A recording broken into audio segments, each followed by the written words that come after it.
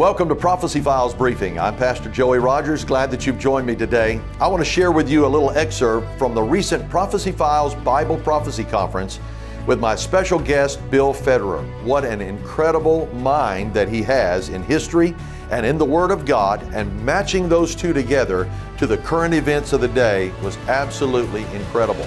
I want to share a little bit of it with you right now, and then I'll be back in just a moment. The most common form of government is gangs. Right? If we were to get rid of all the laws and all the police, what would happen? It would be fine for a couple days, and then people would rob the stores, and when they realized they weren't caught, they'd start robbing houses, and then you would have to organize your neighborhood, and you'd have somebody to defend as your captain, and then the bad guys, and so gangs. And so uh, a king is nothing more than a glorified gang leader. And then you go through these 6,000 years of world history, and it's gangs and pharaohs and Caesars and Kaisers and sultans and czars and maharajas and Attila the Hun, and Genghis Khan, and they keep getting bigger and bigger because with military advancements, kings can kill more people, and with technological advancements, they can track more people. And so um, wherever there's a king, you have to believe the way the king says. What the king believes, the kingdom believes. If you do, if you do not believe the way your king does, it's considered treason, and the king would kill you. And so let's look at the Reformation started in 1517, and percentages of countries began to be Protestant, and some stayed Catholic, and, and then you had the Iron Duke of Alba. He was sent by the King of Spain to Antwerp, Holland, and he killed 10,000 Dutch Reformed Protestants, left their bodies in the streets. And then you had the Queen of France, Catherine de' Medici, and about 10% of France is Huguenot, and they uh, have a leader named Henry of Navarre. And so the queen organizes a marriage of her daughter, Margaret, to the main Protestant leader, Henry of Navarre, in Paris. A couple days after the wedding, she has her soldiers pull chains across the streets so the carriages cannot get out of town. And she sends her soldiers house to house, and they kill 30,000 Protestant leaders. It's called the St. Bartholomew's Day Massacre. And so you have this situation in Europe of what are we supposed to do with Romans chapter 13? Let everyone be subject to the governing authority, for there is no authority except that which God has established. The authority has existed and established by God. But what if the authority literally has a mandate to kill your wife and kids? Are you supposed to say, okay, here they are, kill them? And so in the um, so you had reformers protesting, and they were nicknamed Protestants, and. Um, one of them was John Calvin. He says, We are subject to the men who rule over us, but subject only in the Lord.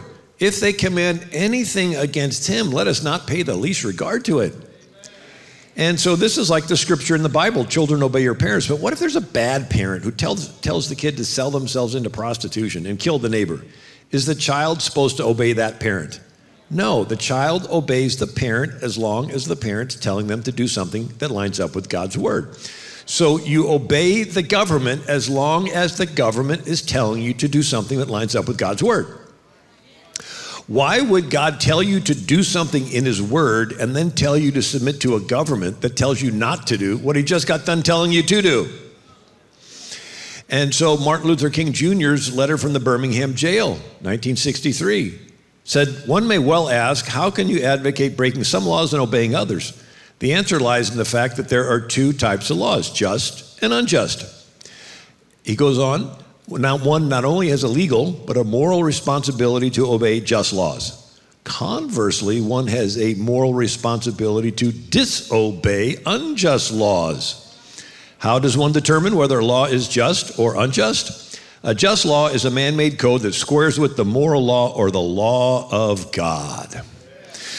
So you have kings for most of world history, and you got to believe the way the king does. And then the Reformation starts, and then you got a group of people saying, wait a second. If uh, Samuel Rutherford wrote a book called uh, Lex Rex, Lex means law, Rex means king. And so the law is above the king. And so when the king stops obeying God's law, you don't have to obey the king anymore. And so uh, the Calvinist Puritans developed a way for people to rule themselves without a king. It's called the covenant form of government, and uh, everybody has to be involved with it. And they got their idea from ancient Israel, that first 400 years out of Egypt before King Saul. First time in world history, around 1400 BC, Israel comes out of Egypt. Millions of people, no king. And it worked because the priest taught the law. And so the covenant form of government is where you get blessings from God. You voluntarily share them with your neighbor because you're doing it as unto God. You get rights from your creator. You're fair to your neighbor because you're accountable to God, who is not a respecter of persons. And so, where did they get their idea? from that first 400 years out of Egypt before King Saul. It's the book of Judges. We don't really realize how unique that period of history is. That there's millions of people and no king. And it worked because everyone was taught the law. And so it's this idea that uh, you have an opportunity to steal, nobody's around, you know you can get away with it. And then you think, God is watching me. He wants me to be fair. He's going to hold me accountable in the future maybe I should hesitate stealing. And it creates something in your head called the conscience. If everybody in the country really believes this, you can maintain complete order with no police. And so that's what they had in ancient Israel. And so uh, it's called the Hebrew Republic. And these reformers, these Puritan scholars looked to this, and they were nicknamed Christian Hebraists. James Harrington, John Sadler, whose sister Ann Sadler married John Harvard. That's why they taught Hebrew at Yale and Harvard. So, in a sense, King Saul is the divider between England and America. You're like, King Saul, didn't he live like thousands of years earlier? Right, the kings of England looked to the Bible for their authority, but they looked to the anointed King Saul and on. The Calvinist Puritans looked to the Bible for their authority, but they looked to the pre King Saul period. There's 400 years, millions of people, no king. And so it was the Calvinist Puritans that founded New England that turned into America. Jesus says, Upon this rock I'll build my church. The word he uses, ecclesia. Ek means out of, ecclesia means a calling.